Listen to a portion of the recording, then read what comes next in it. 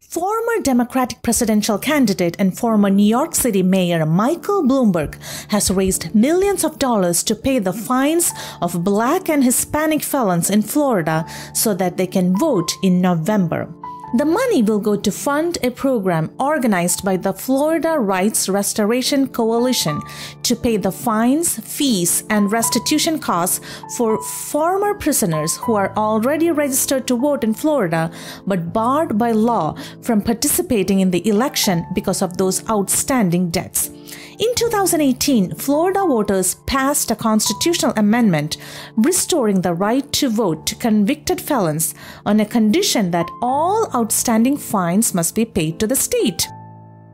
There are almost 32,000 black and Hispanic Florida voter felons who still owe money. A spokesperson for Bloomberg said that the right to vote is fundamental to a democracy and no American should be denied that right. Bloomberg has committed $100 million to elect Joe Biden in the state of Florida. Interestingly, Bloomberg is paying the fines of only black and Hispanic felons and not for whites. He is openly buying out the blacks in the hope that they would vote for Democrats. Isn't this election meddling? Imagine what would have happened if Republicans handed out money to the whites to vote for them. The media would have gone crazy.